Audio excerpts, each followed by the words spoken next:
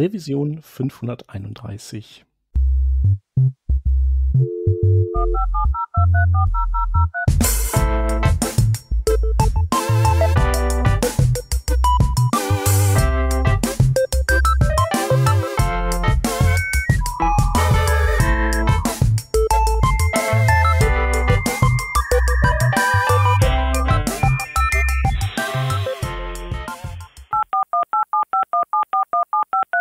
Diese Revision von Working Draft wird euch präsentiert von Hörerinnen und Hörern wie euch. Auf patreon.com slash workingdraft könnt ihr uns ein paar Euro in den Hut werfen. Aus euren Beiträgen und unseren gelegentlichen Werbeeinnahmen bezahlen wir allerlei teure Software-Abos und das Honorar unserer Audioproducerin. Wenn ihr euch auch beteiligen wollt, könnt ihr das unter patreon.com slash workingdraft sehr gerne machen. Wir danken euch tausendfach für die Unterstützung und fürs weitere Zuhören. Wir sind heute zu dritt. Aus dem Team hätten wir zum einen die Vanessa. Hallo. Ich bin der Shep und das bedeutet, dass wir wieder einen Gast da haben und das ist diesmal der Manuel Matusovic aus Wien. Hallo. Hallo, servus. Servus. Du warst schon mal bei uns, aber das ist so furchtbar lange her. Wir haben nachgeguckt, es äh, sind fast fünf Jahre. Also gefühlt drei wegen Pandemie, aber real fünf. Ja, Wahnsinn eigentlich. Total krass, ja. Aber das, das äh, fällt uns irgendwie bei vielen Gästen auf, die wiederkommen, weil wir dann halt immer noch mal nachschauen, so wann, wann waren die denn das letzte Mal da? Und dann haut es einen immer aus den Latschen. Genau, also es ist Fall die Folge nicht nachhören. Das ist so wie bei Artikeln, die man mal geschrieben hat, äh, ja. äh, oder Code, die man geschrieben hat. Äh, sechs Wochen später äh, taugt es einem schon nicht mehr, was man da geschaffen hat vorher. Also bitte die Folge nicht nachhören. Ich werde es auch nicht nachhören. Ich weiß nicht mehr, was ich erzählt habe, aber es ja. war vermutlich nicht gut. Besser ist das. Genau, ich äh, möchte das selber auch nicht. Genau, ich möchte auch nicht in die äh, zweite Folge reinhören, die erste, in der ich mitgewirkt habe. Das war bestimmt ganz schlimm. genau, aber ähm, fünf Jahre, das ist ja da, da, da sind ja, das ist ja die äh, Lebensdauer manch anderer Podcasts. Ähm, das heißt also, das ist so lange her, du musst du dich auf jeden Fall mal noch einmal vorstellen für unsere Hörerinnen und Hörer, wer du bist und was du so treibst. Ja, sehr gern. Äh, Du hast, du hast mich eh schon äh, benannt, Manuel Matusovic, bin äh, Frontend-Developer aus Wien. Ich arbeite für die Stadt Wien und dort, also damals habe ich noch nicht für die Stadt Wien gearbeitet, aber mittlerweile jetzt schon. Und ähm, dort schreibe ich HTML und CSS und äh, auch JavaScript. Und ich bin auch für allgemein so Barrierefreiheitsthemen zuständig. Das heißt, wenn es irgendwie neue Projekte gibt, werfe ich äh, hier und da mal einen Blick drauf und schaue, ob eh alles so ist, wie es sein soll. Und äh, ich bin auch selbstständig nebenbei und da mache ich Workshops und äh, Consulting. Klingt furchtbar Consulting, aber äh, eigentlich helfe ich einfach nur Unternehmen dabei, ähm, barrierefreien Code zu schreiben, so in der Richtung irgendwie. Mhm. Genau. Ja, aber ich habe ja, ich habe abgehört, also die, äh, die Firmen, die dich konsultiert haben, die sind ja auch echt happy gewesen. Also da äh, musst du äh, deine Fähigkeiten nicht unter den Scheffel kehren sozusagen.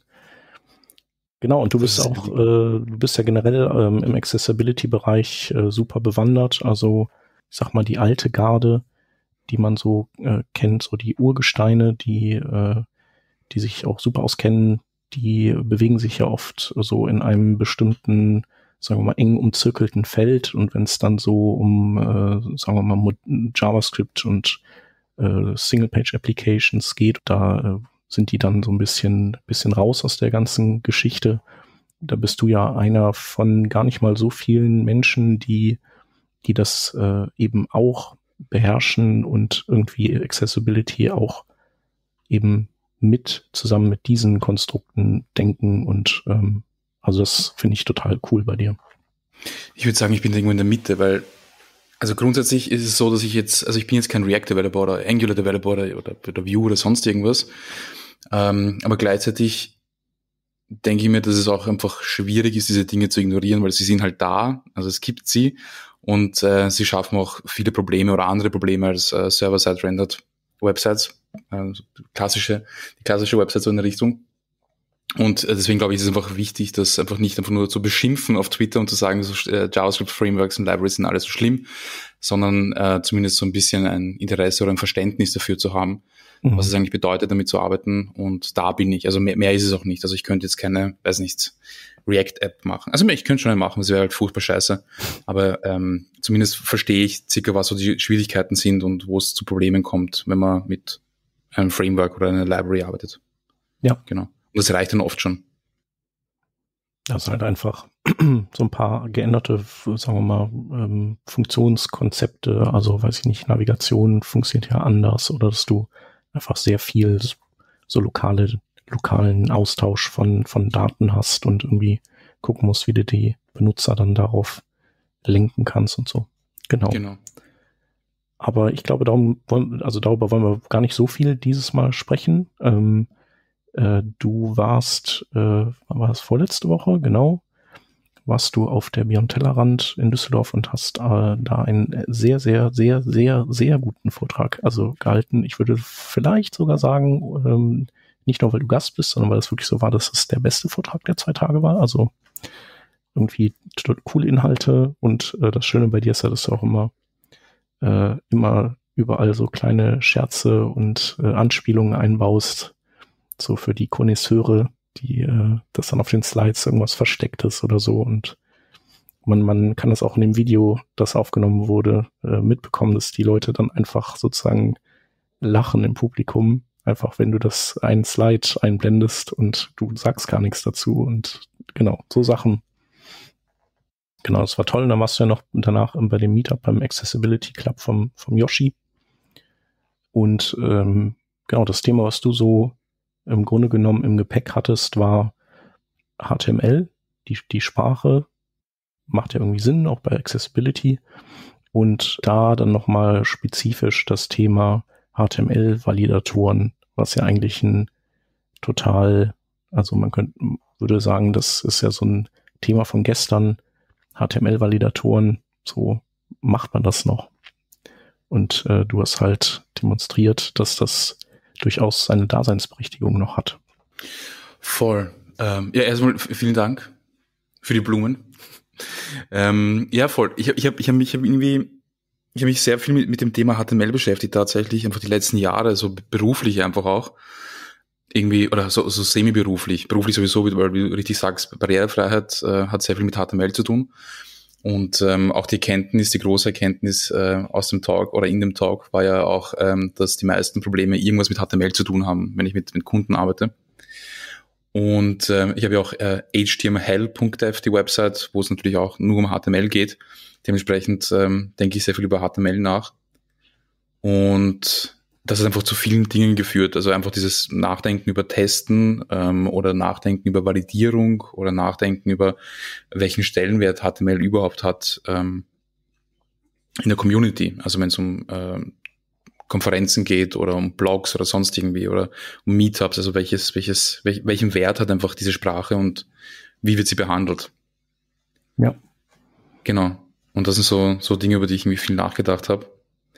Und heute habe ich auch mal so ein bisschen nachgedacht drüber und irgendwie, also auch so, ein Punkt aus, aus diesem, diesem Vortrag von mir war ja, dass ich, dass ich gesagt habe, die Leute sollen endlich damit aufhören, HTML so niederzumachen und zu sagen, das ist so eine super einfache Sprache und äh, das ist so easy, weil können tut's halt keiner. Also wenn man sich anschaut, wie die Qualität der Websites ist, die ist ja furchtbar schlecht und äh, das kann man mit Zahlen hinterlegen, tatsächlich auch.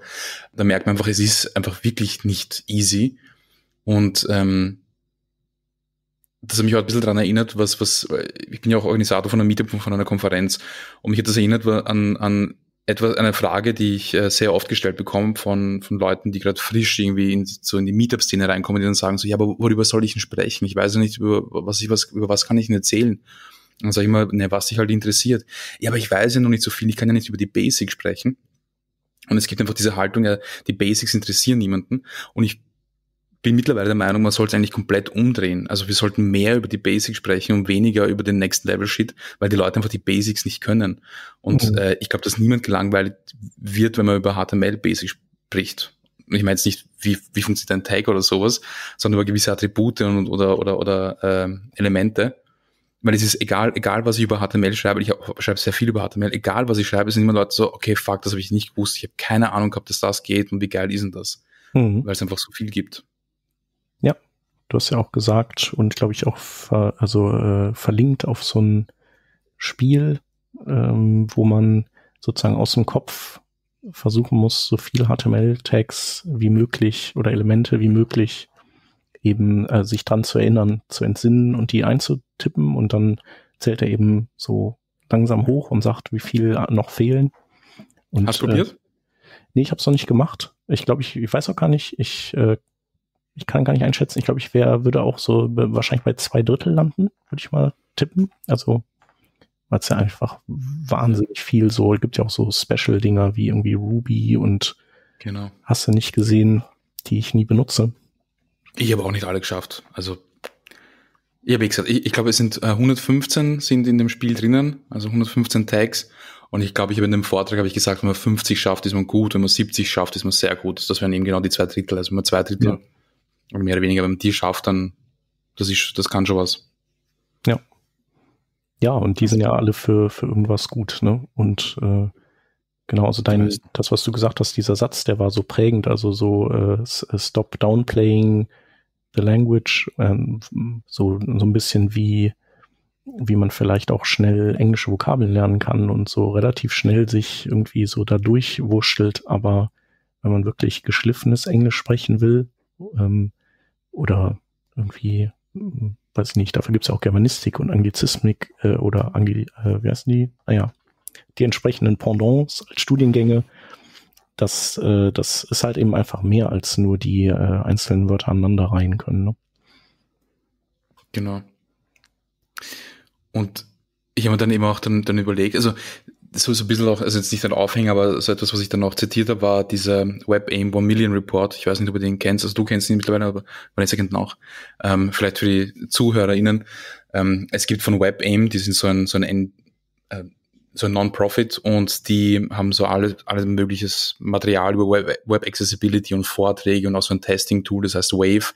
Und die machen auch so Screenreader-Umfragen und die haben auch so eine Evaluierung seit 2019, die heißt Web Aim 1 Million, wo sie die Top 1 Million Websites testen, also Top 1 Million im Sinne von äh, meiste Zugriffe. Und ähm, dort lassen sie einfach Wave drüber laufen, also so ein automatisches Accessibility Testing Tool. Und ähm, evaluieren dann einfach so, auf wie vielen Websites kommen Fehler vor und welche Art von Fehlern. Und dabei äh, checken sie auch noch viele andere interessante Dinge. Und die haben dieses Jahr auf 96,8 Prozent dieser eine Million Websites automatisch äh, erkennbare Fehler gefunden. Genau. Und äh, genau, da kommen wir dann auch schon so ein bisschen zu dem Thema HTML-Validatoren, weil die ja auch mhm. helfen. Äh, also die haben ja, so, es gibt ja einen gewissen Deckungs-Überlappungsbereich zwischen diesen Accessibility-Checkern und dem HTML-Validator. Genau, du hast mich jetzt äh, super zurückgeholt, weil ich den Faden verloren. das mich wieder auf äh, Spur gebracht, genau. Ähm, und ich habe dann überlegt, wie, wie kann es dazu kommen? Also, weil es gibt ja diese Accessibility Testing Tools und die, es gibt, sie kommen ja sogar mit, mit äh, dem Lieblingsbrowser von vielen DeveloperInnen mit, mit, mit Chrome, da gibt es ja Lighthouse. Ich drücke auf einen Knopf und dann wird getestet und fertig. Also ich bekomme ja sehr schnell Feedback und ich frage mich dann, wie kann es passieren, dass es auf so vielen Websites dermaßen viele Fehler gibt? Das eine ist natürlich, dass halt viele Leute nicht wissen, dass man barrierefrei testen kann, was, was eh okay ist. Ich habe es auch ganz lange nicht gewusst. Und ähm, das andere ist, dass es Leute vielleicht wissen, aber halt nicht machen. Und ich habe dann überlegt, gibt es irgendwie einen einfacheren Weg rein in das Testing? Also gibt es irgendwie eine Möglichkeit, wo ich noch, also sozusagen eine Stufe vorher schon mal ansetzen kann, um zu testen? Ich glaube, die Stufe vorher ist nämlich so interessant, was mir jetzt auch gerade erst letzte Woche bei CSS aufgefallen ist. Ich habe dann nochmal, oder wir haben auf der Arbeit zusammen nochmal über Grid CSS gelesen. Und was ich generell schon mag, wenn da auch ein Artikel wirklich drauf eingeht, was so richtig die Grundlagen darunter sind. Und da ist auch drauf eingegangen worden über Layout-Typen wie Flow-Layout oder absolutes Layout oder eben Grid-Layout. Und das sind so Begriffe, die vielleicht der ein oder andere auch gar nicht kennt, ähm, obwohl man die ganze Zeit äh, Float und Flex und Grid macht. Und äh, da ist dann auch in dem Artikel erklärt gewesen, dass ein Display Inline auf einem Element, was sich in einem Grid befindet, ja überhaupt nichts tut, weil das ist ja in einem Grid-Layout und da macht Display Inline nichts. Und zumindest war es erklärt. Manuel schaut gerade so. Ähm, nein, nein, nein, ich, ich finde spannend. Und jetzt weiß ich natürlich selber nicht, ist das jetzt wirklich quasi invalide oder ähm, tut es einfach nichts? Auf jeden Fall hat ja nicht meine IDE bei mir angeklopft und gesagt, äh, das macht ja gar nichts, was machst denn du hier? Während bei JavaScript oder gerade jetzt mit TypeScript Support wird mir ja alles angekringelt, was geht. Ich finde schon immer, dass es gerade bei der Web-Frontend-Welt doch sehr auffällig ist, was bei uns alles lauffähig ist kompilierbar oder quasi transformierbar ist oder transpilierbar, äh, und einfach nicht failt. Und ich, ich, ich manchmal finde ich das schade, dass nicht einfach so eine Webseite einfach failt, wenn man da, keine Ahnung, halt offensichtlichste quasi Fehler reinbringt. Auf der anderen Seite ist es vielleicht auch der Vorteil. Und ich glaube, auf die lange Sicht führt das auch zu diesen Pull-Requests, wo es alles um Switch Case, If Else, Map Reduce oder das oder da, da, da oder sich da Leute sehr über die Syntax streiten können.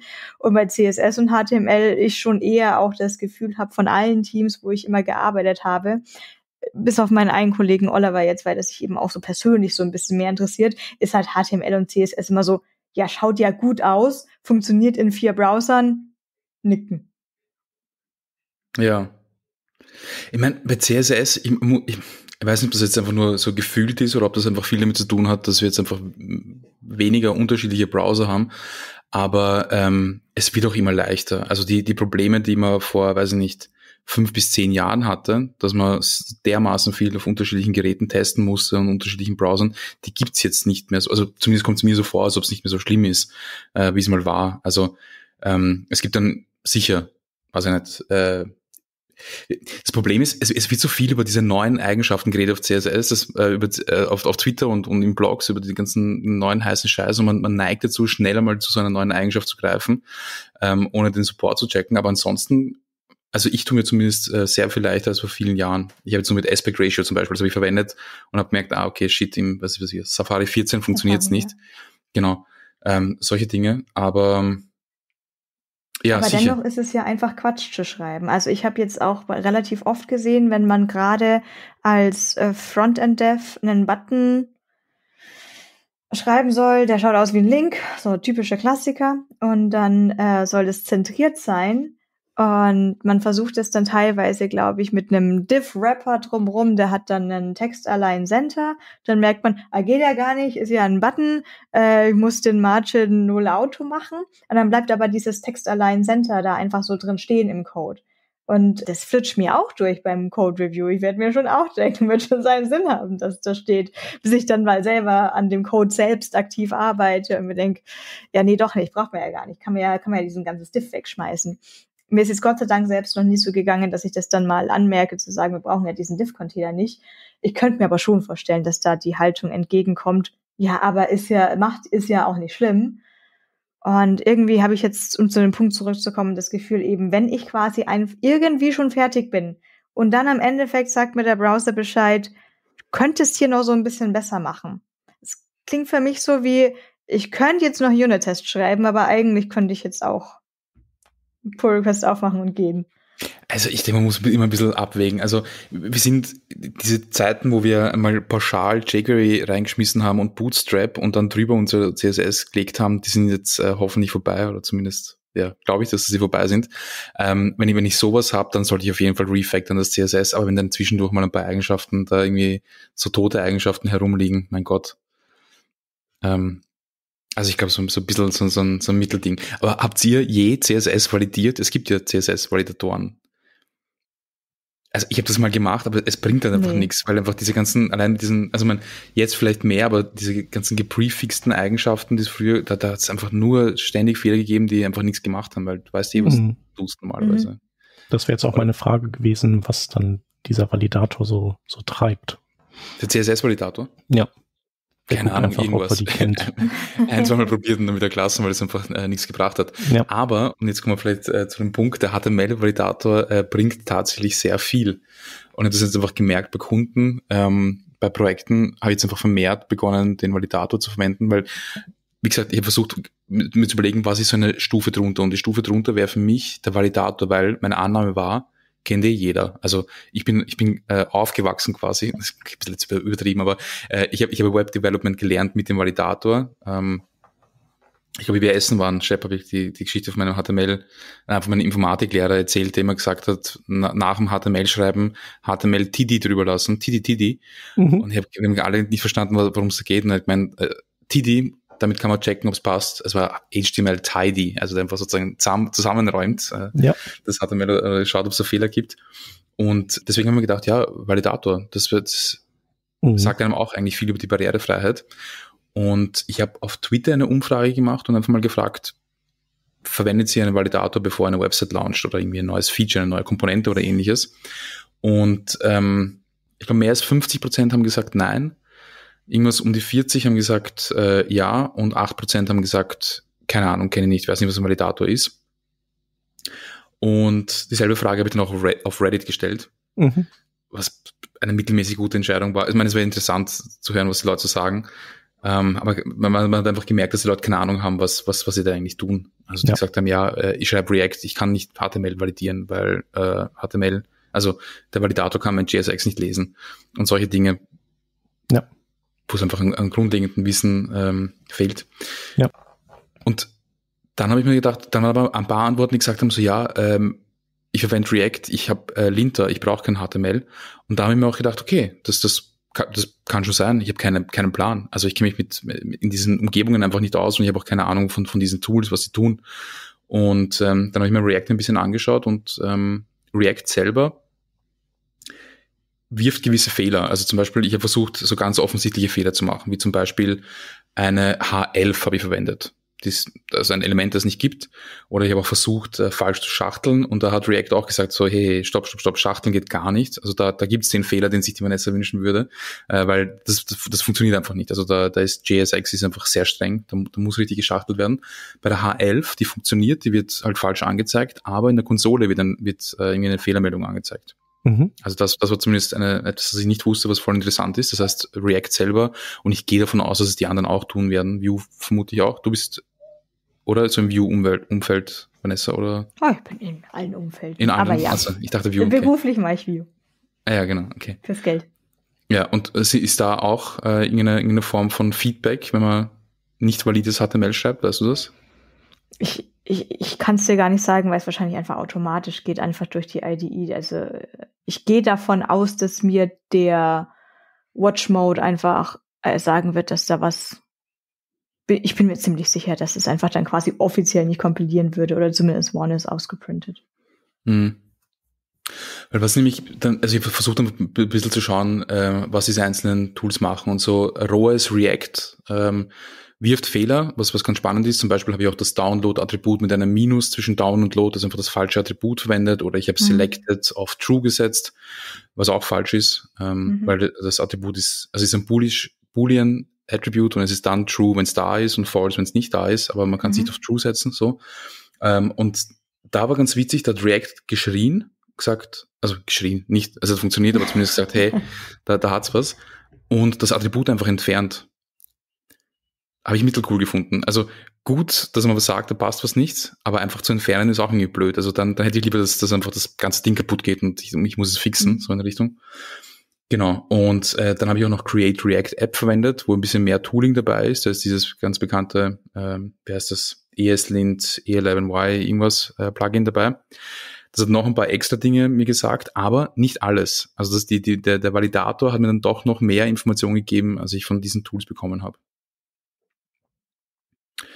Genau. Und deswegen habe ich gemerkt, dass einfach der, der, der Validator tatsächlich, es sollte, es sollte wieder cool werden. Also es sollte einfach diese Website, die, die fürchterlich ausschaut, die 1994 designt worden ist und publiziert worden ist und ich glaube seitdem nicht mehr angegriffen worden ist, die sollte mal äh, fresh rausgeputzt werden.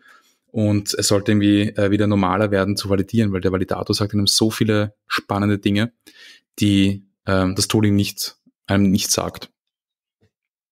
Würdest du jetzt, habe ich das jetzt so verstanden, dass du dann quasi auch dir die Plugins sparen würdest und einfach direkt zum Validator gehen würdest oder trotzdem in erster Stufe mal die Linter etc. einsetzt? Na, die sollten auf jeden Fall drinnen sein. Das ist gut, dass das passt alles, das hat alles seine Berechtigung. Nur der Validator sagt einem dann doch noch Dinge, extra Dinge, die man vom, von den Lintern nicht bekommt oder zumindest nicht die, die ich mir angesehen habe.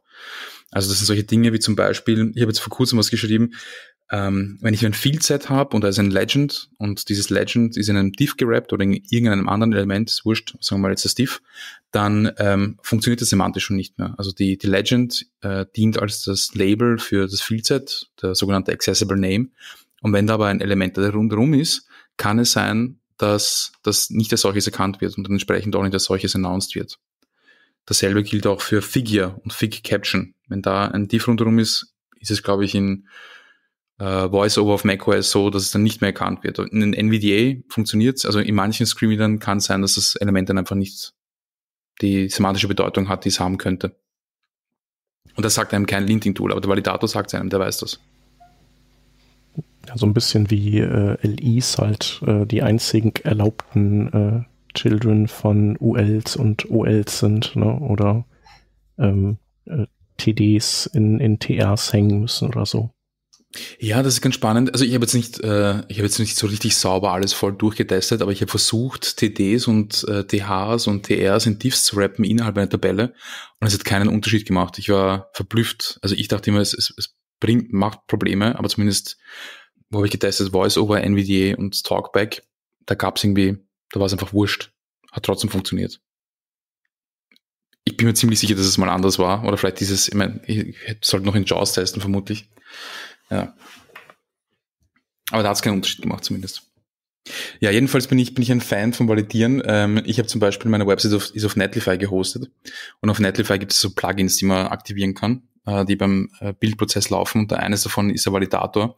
Das heißt, der checkt meine Website, äh, bevor sie online geht und wenn es einen Fehler gibt, dann fehlt einfach der Bild. Super nervig. Ja, das war ja das, was ich gemeint habe. Es wäre doch nett, wenn es dann einfach nicht compiled.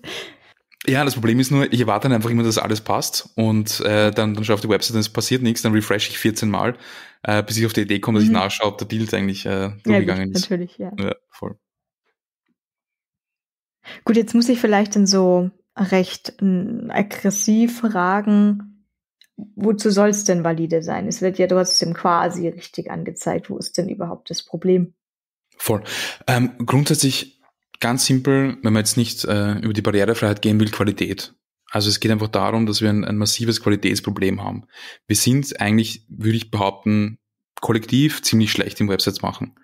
Das hat was mit Barrierefreiheit zu tun, das hat mit der generellen Qualität was mit zu tun, mit Suchmaschinenoptimierung, das hat was mit Performance zu tun. Also die meisten Websites sind einfach nicht gut, Punkt. Sie sind einfach langsam oder, oder äh, voll, voll mit Barrieren, natürlich nicht alle, aber so insgesamt einfach ist da noch äh, ziemlich viel Spielraum, wenn es um die Qualität geht. Also von, von UX möchte ich gar nicht sprechen. Also diese ganzen Dark Patterns, die es so UX, UX-mäßig gibt, die sind nochmal ein eigenes Thema. Aber ähm, ich, ich glaube, dass, dass wir wieder ein bisschen runterkommen sollten und ein bisschen weniger ständig nur Fortschritt suchen sollten und das nächste geile Tool und den nächsten geilen Scheiß, sondern einfach nur ein bisschen zurückrudern und wieder mal schauen, dass einfach grundsätzlich mal alles passt und auch gut funktioniert und nicht nur auf meinem Rechner, in meinem Browser, auf meinem 4000 Euro Laptop, sondern äh, in unterschiedlichen Umgebungen, die ein bisschen realistischer sind. Darum geht's hauptsächlich Qualität eigentlich.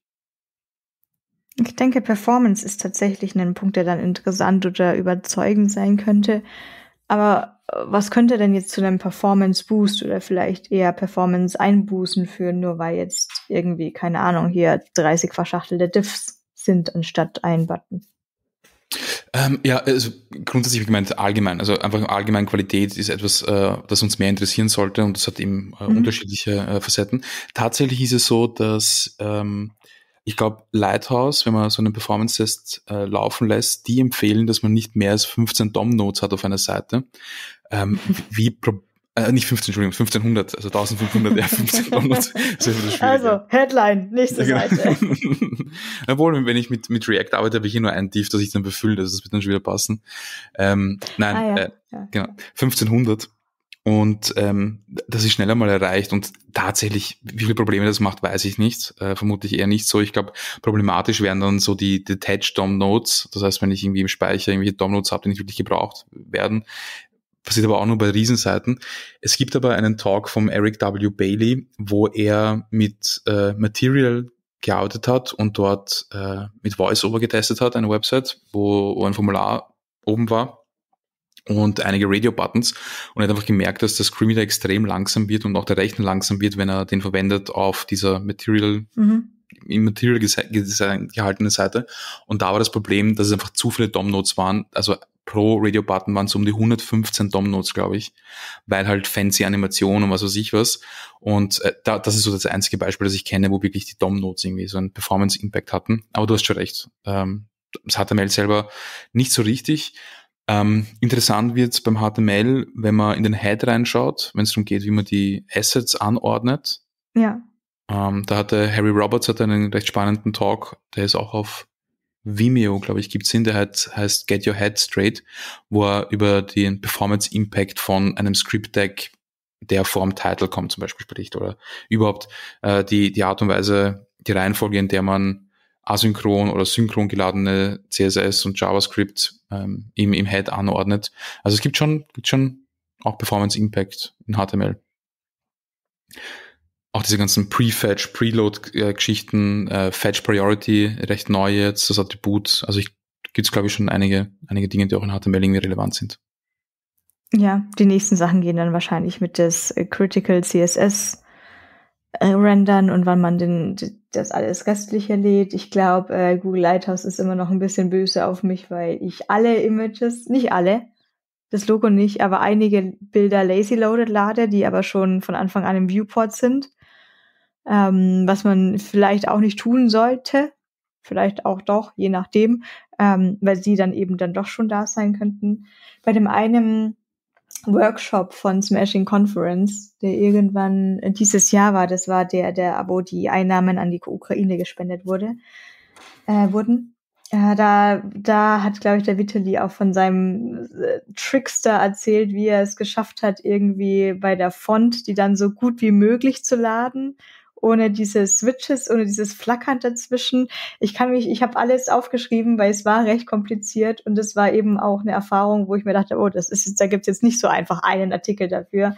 Es war dann schon spezifisch für diese Webseite, was sehr, sehr interessant war. Und ich glaube ja genau, was du gerade auch gemeint hast, dieses Priority-Laden, was es gibt. Und da waren auch so ein paar Spezialtricks irgendwie dabei, dass sobald die Seite noch lädt, man bestimmte Ressourcen einfach auf ganz am Ende laden stellt, aber sobald der Rest ist, sagen, okay, und jetzt ladet es halt einfach so schnell wie möglich. Ja, es ist, also das ist auch so ein Thema, da tue ich mir relativ schwer. Also bei, bei, den, bei den Bildern kann ich dir sagen, ähm, wir hatten so einen SEO-Check mehrmals bei, bei einem Projekt von uns und äh, da wurde, wurde er immer, immer an, äh, negativ angemerkt, wenn die Bilder, die im Viewport sind, nicht mhm eager geloadet worden sind. Yeah. Ähm, da geht es um SEO, hauptsächlich um ja. SEO, ähm, auch Performance, aber äh, irgendwie Suchmaschinenoptimierung, die, die Art und Weise, wie Google, wenn sie eine Seite crawlt, ähm, das wird irgendwie beeinflussen. Es sollte mhm. das, alles, was irgendwie im Viewport ist, sollte einfach da sein und auf einmal geladen werden. Ich habe den Grund vergessen, ehrlich gesagt. Aber ja. Und all diese Ressourcen wie laden, in welcher Reihenfolge. Es ist, also ganz ehrlich, mir ist es einfach schon zu viel. Ich, ich, ich komme komm da überhaupt nicht mit. Jetzt haben wir auch äh, in, bei der Beyond so einen Talk vom Team Cadillac gesehen, wo eben diese äh, Fetch Priority gesprochen hat. Komplizierter Scheiß. Aber es ist auch alles HTML. Also es ist, sage, sehr, sehr, sehr kompliziert. Aber ein Beispiel habe ich noch für die DOM Notes. Ähm, das ist mir jetzt auf Produktion etc. nicht aufgefallen, aber wir haben eine Seite und wir wollten das mal ausprobieren, was passiert eigentlich, wenn wir keine Pagination Dice haben, wenn wir da alles mal draufhauen, was so jetzt aus der Datenbank geht. Und das war eine Tabelle, die nicht nur eine Tabelle war, sondern da waren auch so etlich viele Eventlisten da drauf. Und wie gesagt, da war jetzt pauschal mal gar nichts optimiert, dass man keine Ahnung, ich schätze, da waren jetzt eben auch mehrere, wie gesagt, die Event-Listener, die dann vielleicht nochmal einen Dialog öffnen und es war jetzt ganz einfach, es war jetzt einfach nicht, nicht optimiert geschrieben. Und wir haben das dann eben mit, ich glaube, keine Ahnung, 200 Records waren das dann, statt den normalen 20 und dann irgendwie, man muss ja keine Pagination, wie sich wir denken, wie so eine Pagination, aber es könnte ja einfach Infinite Loading dann sein oder sowas. Ähm, und ich bin da erst erschrocken, weil mein Testing-Browser auf Localhost mit den View gelaufen in eben in, in Development Modus, ähm, ist mir da auf meinem 4000 Euro Laptop da so ein bisschen der, der Browser hier fast der ist ja einfach stehen geblieben. Da war so ein Spinning-Icon zum Laden und der ist da, der, der ist nicht mehr gespinnt. Der war da frozen für 10 Sekunden. Und dann dachte ich mir, was ist da denn los, was ist da denn los? Ich hab's dann, ich bin wirklich erschrocken und irgendwann dachte ich mir, Moment, so schlimm kann die Webseite nicht sein. Wir haben zwar jetzt hier diese 200 Records, aber so schlimm kann es nicht sein. Da gibt's andere Webseiten. Und ich habe es dann in anderen Browsern ausprobiert, in denen ist es nicht mehr passiert. Ich weiß auch nicht, was ich da für Browser-Settings etc. hatte. Aber da, da wurde ich schon mal noch dran erinnert, weil das ist eben so eine Seite, wo dann auch Lighthouse gesagt hat, du, wie wär's mal, wenn du nur 10%, 10 deiner Dom-Notes da hättest, das wäre irgendwie cooler.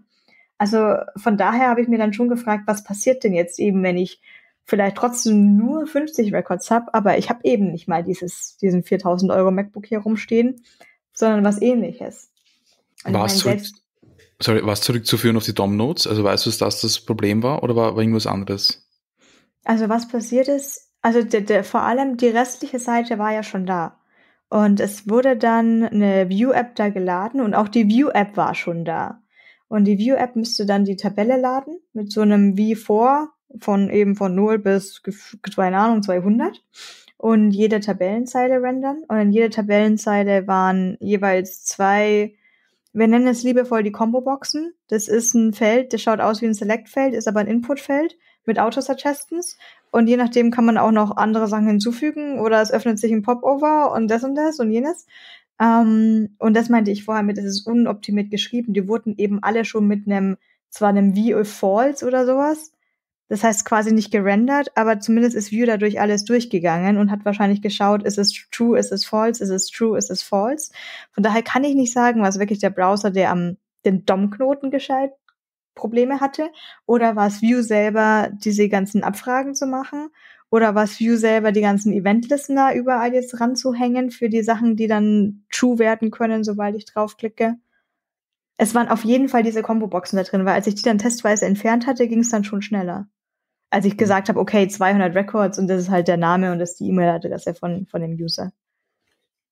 Ja, es ist äh, bei diesen Tabellen, da wird es recht schnell komplex. Also selbst wenn man dann einfach nur so ein paar Icons hat und die Icons können dann aber relativ viel wie eben so eine Combo-Box oder irgendwas, dann, dann, dann hängt schon relativ viel da, dahinter. Ich hatte auch sowas vor zwei Jahren, ähm, einfach nur so eine Taskliste und halt auch sehr viele, also hunderte Notes pro Zeile. Und da war aber das Problem, dass da Event-Listener oben waren und sie haben so ein eigenes Virtual Scrolling irgendwie gehabt. Das heißt, wenn ich gescrollt habe, äh, wurden die DOM-Notes wieder mhm. entfernt und es sind neu dazugekommen und, mhm. und so weiter. Und da war das Problem, dass sie einfach nur die Notes entfernt haben aus dem DOM, aber die Event-Listener nicht. Das heißt, sie waren immer oh noch gespeichert. Sie waren immer noch in, in Memory und du bist dann recht schnell von, von irgendwie 3000 auf 5000 auf 15 auf 50 auf 70 auf 100.000 Notes, äh, DOM-Notes gekommen, die im Browser ja. drin sind. Ja, so, so kommt man schnell mal zu Memory Leak. Ähm, genau. Interessant finde ich es aber durchaus, und deswegen ist es auch so ein Grund, warum ich sage, ich bewege mich schon so, na, na, wie ich es eben zeitlich auch schaffe in allen Gebieten. Ich weiß leider nicht mehr, wie das alles bei Java Android läuft, aber ich weiß so ein bisschen noch, wie es bei iOS läuft. Und da hat man ja auch irgendwie Table Views und Scrollable Views. Und es gibt Sachen, wenn ich da mal zuhöre, was es da für Wunschtickets, Feature-Tickets oder auch Bug-Tickets gibt. Und ich frage mich, ja, wo ist denn das Problem? Das habe ich in 15 Sekunden mit CSS geschrieben. Warum geht das denn nicht? Ähm, aber die Views bei iOS wirklich, die funktionieren komplett anders. Also da ist es nicht so, als würde ich da so einen endlosen Stream haben, durch den ich durchscrollen kann, sondern wenn ich da jetzt eine Table View habe in einer iOS-App und ich habe da 20 Ergebnisse und ich sage, ich scroll weiter, dann wird die gleiche View wiederverwendet. Es wird nur der neue Content da reingeschrieben, aber die, die View wird einfach nochmal verwendet mit den gleichen Größenangaben, nur mit einem ausgetauschten Content, damit man, ja, anscheinend, weil es das einzige ist, was performancemäßig Sinn macht. Mhm. Ja, ja. Stelle ich mir wild vor.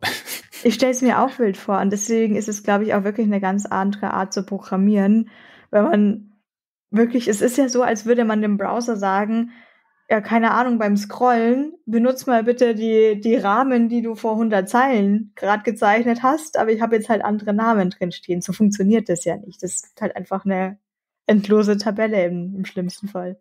Ja. Ja, ich, also ich, ich, will gar nicht drüber nachdenken, was man, was man äh, mit Swift, ist Swift die aktuell, ist das aktuell, weiß nicht, oder? Ja, Swift, genau. Okay. Objective-C ja, geht natürlich immer noch, wenn, wenn Ah ja, okay. Was man mit Swift oder mit Java machen muss, also ich, ich glaube, äh, JavaScript reicht schon mal, das ist schon mal äh, genug, kompliziert genug. Ähm, ja. So, jetzt kommen wir noch mal ganz kurz auf den Validator zurück. Ich weiß es gar nicht, haben wir schon erwähnt, Du meintest gerade diese schöne, wunderschöne Webseite. Aber gibt's mehrere Validatoren oder gibt's einfach nur einen, den von W3C-Validator, den man da benutzen kann? Also es gibt den W3C-Validator, der ist, ähm, da gibt es eine Website, die ist äh, validator.w3.org, die man sich in die Shownotes reinpacken. Das ist so dieser klassische, den, den vermutlich die meisten kennen. Tatsächlich gibt es dahinter ein, ein Projekt, das auf GitHub ist und auch laufend gewartet wird und da gibt's zig Implementationen, die man verwenden kann, auf der Command-Line und sonst irgendwie. Ja. Also da, da gibt es relativ viele Möglichkeiten. Es gibt auch, wenn man auf NPM schaut, gibt es auch einen Haufen Packages. Ähm, HTML Validate zum Beispiel, das verwende ich, das verwende dieses äh, Netify-Plugin. Also es gibt ja viele verschiedene Möglichkeiten, wie ich validieren kann und wo ich es machen kann. Also wo ich, also ob ich das jetzt irgendwie händisch mache oder ob ich es ähm, über die Kommandozeile mache oder in, in so einer CI-Pipeline, gibt es alles Mögliche. Und was vielleicht auch ganz spannend ist, ähm, wenn, wenn ich jetzt äh, so eine, eine Client-Side gerenderte Website hernehme und die validieren lasse, dann ist es sehr wahrscheinlich, dass ich null Fehler angezeigt bekomme, weil ähm, das Dokument in dem Zustand, bevor das JavaScript greift, validiert wird. Das heißt, oft einfach nur ein leeres Div in einem Body-Element. Dementsprechend mhm. kommt es auch zu wenig Fehlern. Da gibt es einen Workaround, das kann ich auch gerne, äh, kann man auch gerne in die Shownotes reintun. Da gibt es ein Bookmarklet. Ähm, wenn ich das verwende, dann wird wirklich das validiert, das auch im Dokument gerade in dem Moment zu sehen ist und nicht nur das Tipp, sondern wirklich auch die komplette Website mit allen Elementen.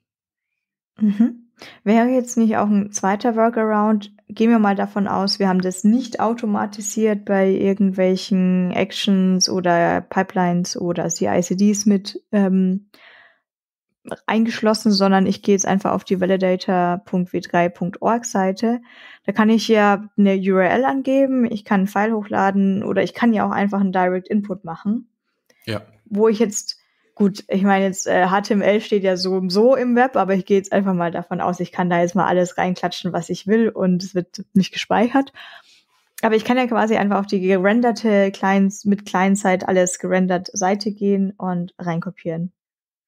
Ja, genau. Also ich Hat es, gibt's da Stolpersteine? Ich erinnere mich nämlich dran, dass ich das mal gemacht hatte und dann hat's mir meinen Doctype nicht erkannt. Und ich dachte so, hä, ist doch alles gesetzt. Genau, genau, genau, das wollte ich gerade sagen. Also wenn, wenn man jetzt einfach sich das HTML rauskopiert aus dem Elements Panel zum Beispiel, äh, mhm. äh, also ist ein bisschen mühsam. Ähm, mhm. Und soweit ich weiß, kann man nur das HTML-Element kopieren und der Doctype kommt nicht mit. Und das war's, das war's, genau. Genau. Ja, also das ist das Einzige, was mir jetzt einfallen würde. Man kann es natürlich beim Validator einstellen. Äh, ja, das ist auch schon das Einzige. Aber mit dem Bookmarklet geht es eigentlich ganz einfach. Da drücke okay. ich drauf und fertig. Das ist, ja. das ist dann schon angenehm, genau. Bei Quelltextanzeigen hilft mir, glaube ich, auch nichts, weil da ist genau, die Clients-App auch ja. nicht, noch nicht dabei. Genau. Was auch noch ganz cool ist, ähm, wenn man den Edge verwendet, da, da, der hat so eine Art Validator irgendwie auch eingebaut, also an zwei Stellen. Im, es gibt einerseits den Issues Panel, da wird X, da läuft X, also diese Accessibility Testing mhm, ähm, mhm. Software. Da läuft WebHint.io und noch irgendwas. Also da werden einem so grundsätzlich Fehler angezeigt oder irgendwelche Warnings, die irgendwas mit Qualität zu tun haben der Seite, jetzt nicht nur barrierefrei, sondern allgemein. Und wenn man in ein Elements Panel schaut und man hat da irgendwas, das jetzt nicht valide ist oder nicht barrierefrei ist oder das irgendwie in diesem Issues Panel erkannt wird, dann bekommt man auch so eine gewählte gelbe Linie unter dem Element. Also so ähnlich wie bei einem äh, Tippfehler, den man vielleicht gemacht hat nur eben nicht mhm. in Rot, sondern in Gelb, äh, direkt im Elements Panel. Das gefällt mir sehr gut. Also das würde ich mir auch im Firefox wünschen. Also da hat man sozusagen auch direktes Feedback beim, beim Inspizieren. Das ist ganz cool. Du hast jetzt ganz kurz X und Webhint.io mhm. erwähnt. Wir sind zwar gerade eher so ein bisschen beim HTML validieren, aber wenn du die Begriffe schon erwähnst und wenn wir die schon da haben, äh, magst du kurz darauf eingehen, was das wir beide, was die Tools machen? Ja, gern. Äh, bei WebHint äh, weiß ich gar nicht so genau, was es ist. Es ist, äh, glaube ich, so allgemein ein bisschen äh, Kompatibilität, kann das sein? Äh, so Kompatibilität, Kompatibilität, ist ein fürchterliches Wort. Ähm, Kompatibilität? Genau. Ja, ich glaube so Cross-Browser, genau. Accessibility und generell Speed. Das so, klingt so, so ein bisschen alles, was man halt so braucht. Genau, also allgemein einfach Qualitätschecks, ähm, die mir gegeben werden äh, zu, zu zum Zustand der Website insgesamt, so wie ich das verstanden habe. Und äh, X ist von DQ die mehr oder weniger State-of-the-Art Accessibility Testing Engine. Engine klingt immer äh, sehr sophisticated, tatsächlich ist es einfach ein JavaScript-File, das einfach Tests durchläuft. Da gibt's aktuell so um die fast 100 Tests, wo einfach geschaut wird, ob die Website accessible ist oder nicht. Und das ist das, was auch Lighthouse verwendet. Oder zumindest mhm. ein Subset von diesen Tests macht Lighthouse auch. Genau. Und das okay. ist so dieses State-of-the-Art-Testing eigentlich, automatisiertes Testing zumindest. Ja, aber ich glaube, wir haben hier einfach schon jetzt einen, einen Knackpunkt erreicht. Das ist jetzt alles so nett, darüber zu sprechen. Aber okay, ich muss jetzt irgendwie zu dem W3-Validator gehen und äh, muss mir da irgendwas einstellen, damit es für Client-Side-Apps geht. Dann habe ich irgendwas im Hintergrund Web-Hint-Gibts, dann gibt's X, ähm, da gibt es auf jeden Fall ja auch die Browser-Extensions, aber ich kann es auch Lighthouse laufen lassen und es macht ein Subset von X. Ich glaube, hier fehlt so wirklich dann die, die Best Practices. So, was mache ich, wann, wie ernst nehme ich welche Fehler? Äh, das ist das zumindest, was mir einfach so am schwersten fällt. Und dann gibt es so eine Zeit, oder ich mache, da gibt es immer die Zeiten, wo ich dann einen Workshop irgendwie mitmache oder mir einen, einen Videokurs anschaue und mir alles mitschreibe, so, ah, und das ist X und das verwende ich da. Mm, aber es ist dann eben noch nicht so im Flow drin. Und dann komme ich da auch wieder raus. Es ist jetzt eben, wie gesagt, wie ich vorher erwähnt habe, es ist jetzt eben nicht jetzt, es ist ein Linter und der ist immer da und den habe ich mir eingesetzt und irgendwann gewöhnt man sich auch dran, was der, was der Linter von mir haben möchte. Ja, also du fasst eigentlich sehr gut zusammen, eigentlich e-, einige Punkte, die ich heute schon gesagt habe, fassen eigentlich ganz gut zusammen. Einerseits, wir haben uns diese Probleme geschaffen, indem einfach alles so furchtbar kompliziert ist. Also ähm, je, je simpler ich die Seite baue, desto simpler ist auch das Tooling dahinter. Wenn ich einfach nur HTML-Dokumente baue, dann, dann validiere ich, mache meine Tests und, und fertig. Da gibt es jetzt nicht so die 1000 Linter, die ich installieren muss und sonst irgendwas. Natürlich ist es auch nicht äh, sehr zielführend, einfach nur HTML zu schreiben. Außer wiederum, ich verwende einen Static Site Generator, der kommt relativ weit, aber dann ist auch noch wieder ein bisschen Tooling dabei. Also das eine, das eine ist einfach, unsere Entwicklungsumgebungen sind einfach furchtbar kompliziert und auch die Art und Weise, wie wir Webseiten bauen, sind furchtbar kompliziert. Und ich bin grundsätzlich gar kein äh, Feind des äh, JavaScript und ich schreibe jeden Tag JavaScript, ich mag JavaScript und auch äh, Client-Side-Rendering eher okay. Ähm, nur es macht selten Sinn für mich. Und ähm, ich glaube, wir müssen einfach ein bisschen besser entscheiden, wie wir, welche Technologien wir einsetzen und nicht einfach nur Technologien der Technologie wegen einsetzen. Also das mal erstes, das erste, so ein bisschen runterkommen, ein bisschen äh, runter reduzieren und dann wird auch alles einfacher, stelle ich mir vor.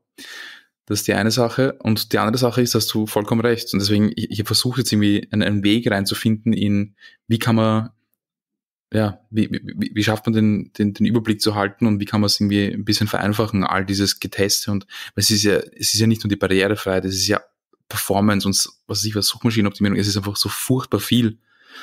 Ähm, ich kann die Frage nicht beantworten, weiß ich nicht. Alles scheiße. Aber ähm, was ich immer denke, ist der Zugang, dass ich einfach nur sage, ich versuche wenigstens irgendwas besser zu machen als gestern, das, das reicht schon. Also das ist der Tipp, den ich den meisten Leuten bei Barrierefreiheit gebe. Äh, seid nicht überfordert von, von diesem ganzen Barrierefreiheitsthema, weil es ist einfach sehr umfangreich und sehr komplex. Versucht nicht alles zu machen und auch nicht perfekt. Perfekt gibt's nicht. Ähm, einfach nur besser als gestern. Das ist, klingt auch so irgendwie furchtbar scheiße, aber es ist halt einfach, das, das, das, das hilft schon was. Wenn man einfach nur so schrittweise eine Sache versucht zu richten und beim Richten wäre es halt cool, wenn man nicht einfach nur versucht, den Bug wegzubekommen, sondern versteht, was das heißt. Also sozusagen nicht einfach nur die Fehlermeldung zu kopieren, zu googeln, auf Stack Overflow zu schauen und den Fix rauszusuchen, sondern auch äh, den Fehler zu verstehen und zu interpretieren und zu wissen, welchen Impact es hat. Das ist alles langsam, das passt nicht sehr also zu, zu unserer sehr schnellen, agilen, äh, Move Fast, Break Things Attitüde, die die meisten von uns haben oder viele von uns haben. Aber ich glaube, äh, ein bisschen Langsamkeit, rund, äh, ein bisschen, ein bisschen runterkommen, äh, wie wir in Wien sagen würden, ein bisschen runterkommen, das, das kann uns das würde uns nicht schaden, glaube ich. Ich weiß gar nicht, ob die große Masse die Technologie des Technologiewillens einsetzt, sondern auch so ein bisschen vielleicht wirtschaftlich gesehen. Hm, man braucht ja einfach die Developer, die die Sachen dann können. Und es gibt halt, und das, das finde ich irgendwie, das habe ich schon in den letzten Episoden hin und wieder mal wieder gesagt, irgendwie schwierig, dass es halt jetzt so Advocates gibt für Frameworks.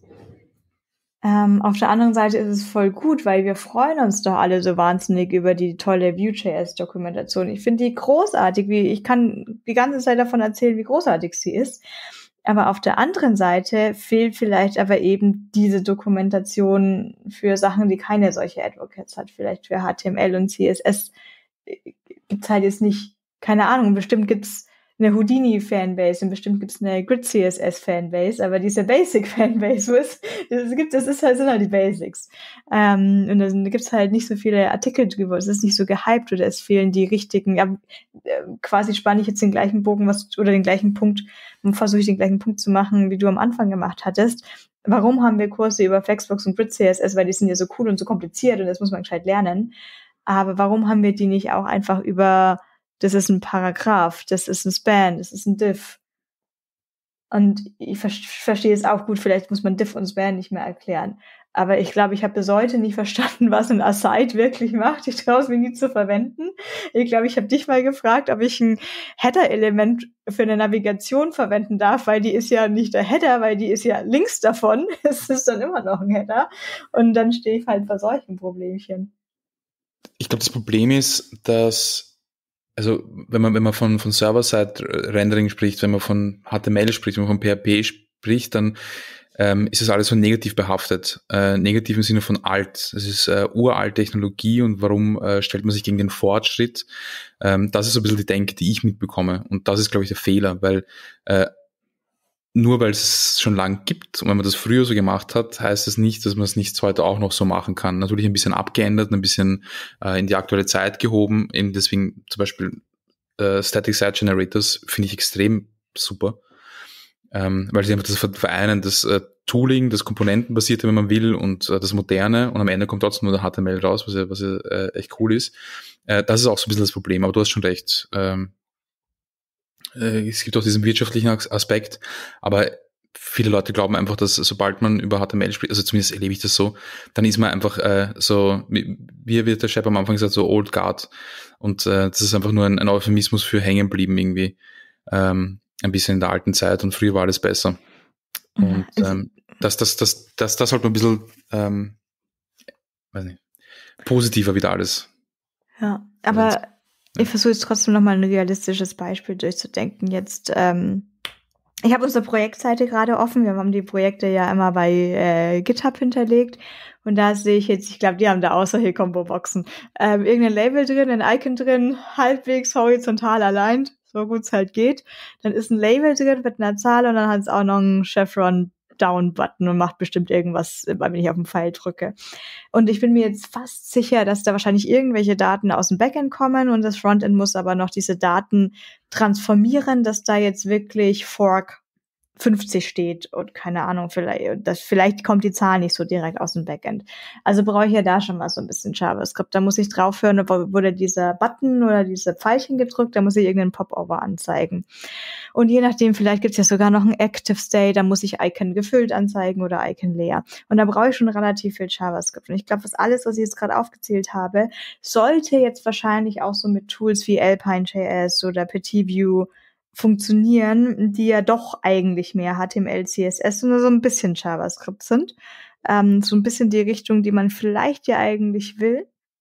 Aber jetzt brauche ich halt vielleicht trotzdem an der Stelle jetzt einfach die ausgebaute Client-Side-Application auf dieser einen Seite.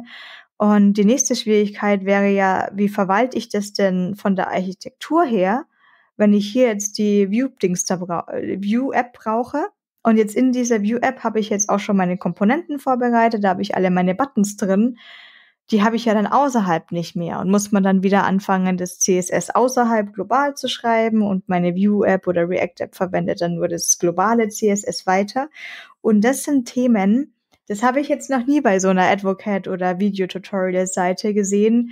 Wie mache ich das denn von der Gesamtarchitektur einer Webseite, wenn ich sage, ich möchte ja gar nicht alles mit JavaScript erschlagen, aber ich habe halt jetzt schon diese React-App und ich weiß nicht, wie ich das sonst zusammen auf dieser Webseite als Puzzle zusammenbringen soll.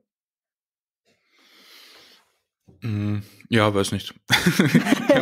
kann ich dir nicht sagen, aber ich kann dir sagen, dass die meisten von uns nicht äh, GitHub bauen. Das ist halt, glaube ich, auch so ein, mhm. so ein, so ein mhm. Riesenthema, weil die, die meisten, ich meine, es ist halt immer so schwierig, wir sind alle, wir sind, wir sind ja, wir drei, ähm, und, und eigentlich auch die ZuhörerInnen hier sind, sind ja schon alle in dieser Bubble und wir glauben ja, dass, dass alle ähm, nur, nur immer äh, Bleeding Edge den, den, den geilsten Scheiß irgendwie verwenden.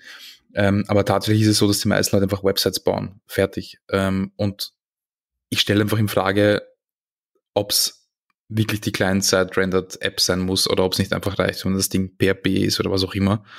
Ähm, weil es einfach einfacher ist und schneller und, und einfach simpler. Aber sicher, wenn ich sowas, äh, wenn ich irgendwas super Interaktives baue, wenn ich eine, eine wirkliche Applikation baue, wo ich sehr viel Reaktivität benötige, dann sollte ich mir vermutlich überlegen, ob ich nicht irgendein Framework brauche. Es kann so ein Minimal Framework sein wie, äh, wie heißt das, äh, HTMX oder Alpine oder sowas. Aber da stoße ich halt auch sehr schnell an meine Grenzen, sobald es ein bisschen komplexer wird und da brauche ich sowas wie Vue. Aber also in den, in den äh, vier Jahren, die ich bei der Stadt gearbeitet habe, haben wir auch diese Themen sehr oft gehabt.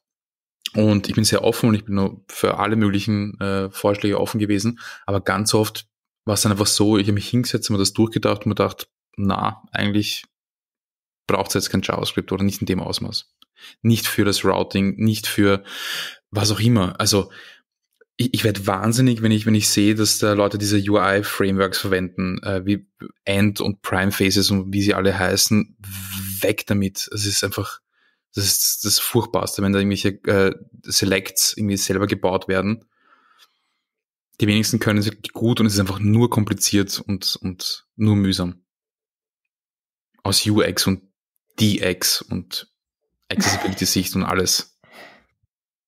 Also einfacher und weniger ist mehr. Ich finde schon. Ja. Nee, bin ich aber auch tatsächlich, bin ich auch bei dir. Ich lebe das. Also ich habe jetzt die letzten, die letzten Jahre, ich habe wirklich eigentlich nur mit äh, Eleventy gearbeitet, kann auch irgendwas anderes sein, aber das ist halt einfach jetzt der äh, Static Site Generator, mit dem ich gearbeitet habe. Ich habe hauptsächlich nur HTML äh, rausgehaut mit ein bisschen JavaScript drüber, um halt eben diese interaktiven Sachen zu machen. Ähm, Wenn es bisschen reaktiver werden musste. Also wenn irgendwie äh, an einer Stelle etwas reagieren muss auf etwas, das auf einer anderen Stelle passiert, dann äh, war es Alpine und damit kommt man schon sehr weit tatsächlich. Und da tut man sich auch ein bisschen einfacher, ähm, Progressive Enhancement anzuwenden. Also etwas, das vielleicht auch ohne JavaScript funktioniert. Ja. Aber sicher, wenn, wenn so ein Use Case hast, wie du ihn vorher beschrieben hast, wo React und dann auch noch Vue und dann macht das so viele Dinge, das ist dann halt dann übersteigt es meine Kompetenz und äh, ich würde behaupten, die Kompetenz sehr vieler Leute. Und das ist ein bisschen so auch das Problem. Überschätzen uns, glaube ich, auch ein bisschen. Ja. Ähm, was mich noch interessieren würde, äh, Manuel, du äh, hast ja auch in deinem Beyond Tellerrand Vortrag auch mal so äh, zwischendurch einen Screenreader gezeigt, beziehungsweise äh, so eine Hilfsnavigation, die dann von so assistiven Technologien eingeblendet wurde. Du machst das schon regelmäßig, dass du sozusagen Webseiten mit diesen Tools auch die Experience sozusagen hast damit, oder? Weil ich glaube, das ist auch so ein bisschen der Schlüssel, um so am eigenen Leib zu erleben, ob man jetzt äh, eloquentes HTML geschrieben hat oder eben eigentlich äh, nur einen Haufen Kauderwelsch und was, also das wäre vielleicht auch noch so meine Frage, was würdest du da so als äh, Einstiegsdroge empfehlen? Also wie, wie machst du das? Also letztens hast du auch noch mal was getwittert von äh, heute ist irgendwie, dann äh, macht mal heute den Mausweg-Tag oder sowas. Mhm. Ähm, genau, was sind so denn deine Empfehlungen, also wie man sich da vielleicht, äh, äh, nachdem man den inneren Schweinehund überwunden hat, nachdem man den besiegt hat, ähm, welche Tools man vielleicht eben vielleicht nur einmal im Monat oder so mal einfach benutzen sollte, um wieder so ein bisschen grounded zu sein und äh, zu wissen, was man da eigentlich so fabriziert. Ich würde die Frage weitergeben an die Vanessa, weil ich hatte ja mit äh, Smash, mit Smash Magazine habe ich so einen Workshop am Laufen und die Vanessa war da auch dabei. Und du hast ja auch die Tools mitbekommen. Was würdest du sagen? Was ist, was, was würdest du nach all diesen Tools, die ich gezeigt habe, was würdest du sagen, was ist der einfachste Einstieg oder der, der, bei dem man am meisten Feedback bekommt? Ist es ein automatisiertes Testing oder ist es der Screenreader oder ist es irgendwas anderes?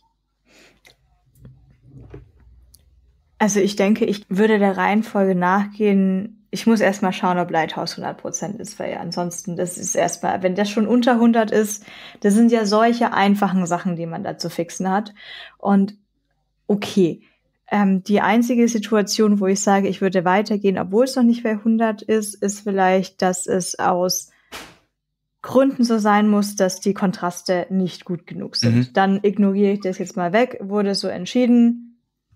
Und der nächste Punkt ist dann, glaube ich, würde ich wirklich an mich an X danach langhangeln, ähm, weil ich da, glaube ich, auch so die meisten Dokumentationen drüber finden würde, weil es halt äh, dann doch gut auch weiter ähm, weit verbreitet ist.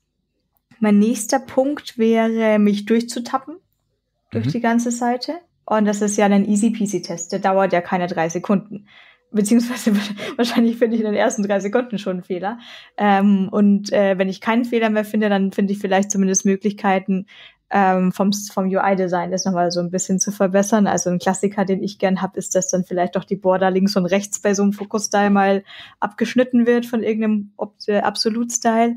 Und bei Screenreadern, ich glaube, das Einfachste ist, ich würde mir wahrscheinlich den Safari-Browser nehmen vom macOS, das, was da in-house drin ist. Und wenn ich dann schon so tief drin bin, dann bin ich, glaube ich, schon tief genug drin, damit ich äh, mich noch weiter hangeln würde. Also ich glaube, ich würde jetzt nicht als allererstes mir einen Nvidia irgendwas Screen wiederholen, weil ich mich da gar nicht auskenne. Voice-Over heißt es ja, glaube ich, hier, sondern einfach dieses Voice-Over, was ich so einfach wie möglich einstellen kann. Und dann habe ich es ja schon. Habe ich auch schon mal am Handy aus Versehen aktiviert. Also dann, dann, dann sieht man ja schnell die Sachen. Voll. Und dann kommt man vielleicht auch in die richtigen Foren rein, um dann weiter zu. Genau, also Du, du, hast, du hast vollkommen recht, da ist man dann schon einfach wirklich schon sehr tief drinnen und ich würde das auch gar nicht empfehlen, weil es einfach sehr, sehr frustrierend ist. Also für mich hat es einfach wirklich Wochen, Monate gedauert, bis ich mit diesen Dingen umgehen konnte, weil es einfach, es ist, es ist kompliziert, es wird irgendwas vorgelesen und plötzlich bist du weg und dann musst du erst recht wieder die Maus verwenden, um wieder in die Seite zurückzukommen und du, du, du hast vielleicht kein visuelles Feedback. Es ist, es ist schon recht schwierig, es dauert ein bisschen. Es geht natürlich, wenn man, wenn man geduldig ist und wenn es einen interessiert und es sollte einen interessieren, ähm, dann, dann geht das schon. Aber man merkt schon, dass du, du, du ein bisschen mehr die Developerin bist als ich, weil du hast diesen äh, technischen Weg über das Testing gewählt. Ähm, ich würde tatsächlich mit, mit, mit der Tastatur anfangen. Das wäre das Erste, was ich machen würde. Und äh, so wie du es angesprochen hast, Chap, ich würde äh, die Maus auch wirklich entfernen über CSS. Einfach Cursor ansetzen auf der ganzen Seite, damit ich nicht schummeln kann. Vielleicht sogar Pointer-Events nan hat jemand auch empfohlen dann in den Twitter-Kommentaren, damit ich auch nicht klicken kann und wirklich, wenn ich eine richtige Maus habe, also kein Trackpad weglegen, weil das ist für mich finde ich der einfachste Einstieg. Also Vanessa hat schon recht, Lighthouse ist äh, auch sehr zugänglich, weil er einfach bekommt einen Score, man bekommt die Fehler aufgelistet, das ist eigentlich recht verständlich, man hat Ressourcen, die man durchlesen kann. Aber beim, beim Keyboard-Testen, dann spüre ich es richtig. Also da lese ich keine Fehlermeldung, sondern ich spüre einfach, okay, ich komme da jetzt nicht hin, weil dieser Button mhm. ist ein Diff oder ich komme jetzt nicht in diesen Dialog rein, weil, weil es kein Fokusmanagement gibt. Und, ja, ich glaube, äh, das ist ja das, das, das ist wirklich der entscheidende Unterschied, dass man dann in, in dieser Haut selber steckt, des, äh, der Person, die das eben konsumieren muss, was da fabriziert wurde. Genau, also, also es, hat, es hat natürlich nichts mit der, mit der tatsächlichen Experience äh, ähm, zu tun, die, die die Menschen haben beim Verwenden der Website. Also ich bin da immer sehr vorsichtig, wenn es darum geht, irgendwas zu emulieren oder simulieren oder sonst irgendwie. Aber äh, zumindest einfach nur mal zu erfahren, wie viel von der Website kann ich eigentlich mit der Tastatur benutzen und mhm. wie viel nicht. Weil grundsätzlich ist es schon so, dass alles, was ich mit der Maus machen kann, sollte ich auch mit dem Keyboard machen können. Ja. Genau. Und wenn man da mal, also eigentlich sollte ich mal wahrscheinlich ein, ein Video aufnehmen, wie ich eine Website äh, durchtabe, damit man einfach nur sieht, was es so an Fehlern gibt. Das könnte ich vielleicht mal machen. Aber was ich empfehle, ist, dass man einfach mal eine Website aufmacht, die Maus nimmt und schaut, was kann ich mit der Maus alles tun, was jetzt nicht irgendwie auf eine andere Website navigieren ist oder ein Formular abschicken ist. Zum Beispiel äh, das Dropdown öffnen oder was passiert bei Hover und ähm, kann ich vielleicht irgendwie in so einem Slider durchklicken. Und dann versuche ich genau dasselbe zu machen, aber halt ohne Maus. Nur mit Tab, Space, Enter, Pfeiltasten. Mhm. Ja. Genau, was, was ein wichtiger Punkt ist. Also es ist natürlich schön, so eine, so eine grüne volle 100 zu sehen. Ähm, die erreicht man natürlich zum Beispiel auch, wenn ich jetzt auf meine Icons ganz braven ARIA-Label drauf haue. Und so bin ich natürlich auch mal einfach so vorgegangen. Ah, Lighthouse-Fehler, was, Aria Hitten, Aria Label, Aria Label, ah, das klingt besser, dann habe ich noch einen Text dazu. Und ich bin auch in, glaube ich, so eine Standardsituation reingerannt, die ich dann auch nicht mit der Tastatur, sondern eben dann mit dem Screenreader mal gemerkt hatte. Ich hatte jetzt nennen wir uns doch einfach mal einen Namen. Ich hatte den vollen Namen eines Users, habe ich dann auch als ARIA-Label auf das Avatar. Dann war aber auch der volle Name ja noch mal rechts neben dem Avatar gestanden. Und das war so, Avatar auf Vanessa Otto. Vanessa Otto. Ja, jetzt stell dir mal vor, ich einen längeren Namen. So, ja, ja, ich habe ja schon kapiert. Das ist dann halt auch nicht mehr hilfreich. Und dann ist es halt die Frage, ähnlich was ich vorher auch schon meinte, man kann jetzt vielleicht das, diese Sachen irgendwie, manche Sachen nochmal technisch validieren, aber ob das für mich als Menschen sinnvoll ist, dass ich an dieser Stelle ein Label anstatt den Hitten hatte, muss ich dann vielleicht auch wirklich als, als Mensch mir das anschauen. Und die andere Sache ist, ja, äh, ich weiß gar nicht, ich schätze nicht, dass Lighthouse jetzt irgendwie durchschaut, ob man alles tappen kann. Nee, kann ja gar nicht sein, glaube ich nicht. Ähm, aber ob das dann eben auch schön und smooth wirkt, weil äh, wechselnde Designer, gibt's mal den Fokus-Style, mal den Fokus-Style, hier einen Framework verwende, da den Fokus-Style und hier hat keiner drauf geschaut, gar keinen Fokus oder halt einfach nur die normale blaue Outline. Ich glaube, das Einfachste wäre auch einfach nur bei der blauen Outline zu passen, zu bleiben, dann hätte man die ganze andere Arbeit nicht. Ähm, ja, dann, dann schwenkt man halt mal von, einmal ist es der fette Rahmen, einmal ist es aber, keine Ahnung, das, das ist, das war wieder so ein ähm, Button, nee, andersrum. Es war ein Link, schaut aus wie ein Button, aber hat dann halt auch nur eine Texthelligkeitsänderung gehabt und es ist relativ echt schwer zu sehen, wenn du durch so eine ganze Seite tappst und plötzlich ist es nur von grau auf rot. Also da habe ich schon mal sehr lang auch gesucht. Und ich frage mich immer, ich weiß ja auch nicht, wie andere Leute Webseiten zu verwenden. Ich habe immer das Gefühl, ich bin da irgendwie in so einer goldenen Mitte. Ähm, aber dennoch muss ich mich manchmal, habe ich das Gefühl, mich manchmal selbst rechtfertigen zu müssen, dass ich jetzt nicht für, ach Mensch, diese arme Minderheit, die keine Maus verwenden kann, sondern ich selber verwende Keyboard-Tasten, um irgendwas zu verwenden. Das macht mich ganz kirre, wenn ich gerade bei den Tools, die ich verwende, also viel GitLab und GitHub und solche Sachen, ähm, da irgendwas öffne, ähm, zum Beispiel Assigny ändern und ich bin aber jetzt nicht, ich komme nicht in dieses Feld direkt, um nicht, da wird so ein Popover wieder geöffnet und ich will jetzt gleich den Namen eingeben. Ich muss mich da aber nochmal rein fokussieren. Und da stolper ich so oft drüber, ähm, dass ich das mit einem Keyboard nicht wirklich verwenden kann. Und ich glaube, es ist schon auch ein Druckschluss, dass man glaubt, dass nicht behinderte Menschen ja nur die Maus verwenden würden. Also ich tue es nicht. Ich verwende sehr viel das Keyboard und werde auch kirre, wenn ich da nicht Enter drücken kann bei dem Formular. Ja, ja. also äh, du hast viele Sachen gesagt. Ähm, zu, zu, zum letzten Thema. Okay, bevor ich es vergesse, auf GitHub und auf Twitter äh, kann man, wenn man Fragezeichen äh, drückt, also einfach die Fragezeichen-Taste, äh, dann bekommt man die Shortcuts auf der jeweiligen Seite aufgelistet. Das ist ein äh, Productivity-Hack, den ich äh, geben kann. Und auf Twitter kann man zum Beispiel GN drücken, dann kommt man zu Not Notifications oder GH zur Home-Seite. Das ist die eine Sache. Ähm, die andere Sache ist, ich habe mit einem CMS gearbeitet oder arbeite äh, immer noch damit, das heißt Craft CMS ist einfach ein CMS. Ähm, ich glaube, das WDRC hat jetzt von WordPress auf Craft gewechselt, weil WordPress äh, mittelmäßig barrierefrei ist im Backend und Craft ist es. Und ich habe damit gearbeitet und irgendwann bin ich draufgekommen, so warte mal, ich habe jetzt schon länger keine Maus verwendet und ich komme eigentlich gut zurecht. Und das hat eben funktioniert, weil die Website, äh, weil das Backend Keyboard accessible ist und so wie du richtig sagst, es war für mich als Power-User, war das einfach ein Traum, weil die, sie haben Skip-Links, ich komme schnell zu den, äh, zu den Inhalten, ich kann ähm, Command S drücken und ähnliches zum Abspeichern von, von, von einem äh, Content und, und so weiter. Also äh, da gibt's ja diesen vom, vom WAI diesen Spruch, ähm, essential for some, useful for all oder for everyone, so in der Richtung. Also man löst, wenn man, wenn man es für einen, für, für einen Use Case oder für eine Benutzergruppe löst, macht man es besser für, für viele andere meistens auch. Genau. Und ähm, zum ersten Punkt, wie richtig oder wie falsch macht man es? Ja, eh, weiß man nicht, weil es, ist halt, so Annahmen treffen ist ganz schwierig und wir wissen halt nicht, wie die Leute die Website verwenden. Und deswegen muss man davon ausgehen, dass sie eben nicht unsere äh, Laptops haben, die, by the way, äh, mein Laptop hat jetzt mehr gekostet als mein erstes Auto. Ähm, also die meisten Leute haben so ein Laptop wahrscheinlich nicht äh, und auch nicht die super Internet-Connection und äh, vielleicht können sie auch nicht die Maus verwenden oder sonst irgendwie. Das heißt, sie müssen einfach so arbeiten, dass wir so viele, so vielen Menschen wie möglich Zugang geben. Und wenn wir es nicht wissen, können wir uns zumindest auf Tooling ver ver verlassen. Und zumindest mal dieses Minimum, so wie du es gesagt hast, einfach diese offensichtlichen Sachen, die uns ein automatisiertes Barrierefreiheitstesting-Tool gibt oder äh, einfach diese offensichtlichen Sachen, die der Validator erkennt. Weil wenn es das, wenn es die Maschine erkennt, dann ist es wahrscheinlich äh, normalerweise ein, ein, ein low-hanging fruit, also etwas, das man sehr leicht fixen kann. Und wenn wir das schon mal hätten, dann hätten wir schon so viel erledigt. Also wir müssen über diese komplizierten Dinge, ähm, da müssen wir jetzt gar nicht drüber reden. Also sicher gibt es genug äh, Barrierefreiheitsexperten, die sagen, ja, äh, und Expertinnen, die sagen, ja, ja, ja, äh, Screenreader testen und es ist halt so schlimm, wenn ihr das nicht macht. Ja, eh, aber es gibt so viele andere Sachen, die man vorher machen muss, die noch gefixt werden äh, müssen, bevor man über diese kom komplexeren Themen spricht.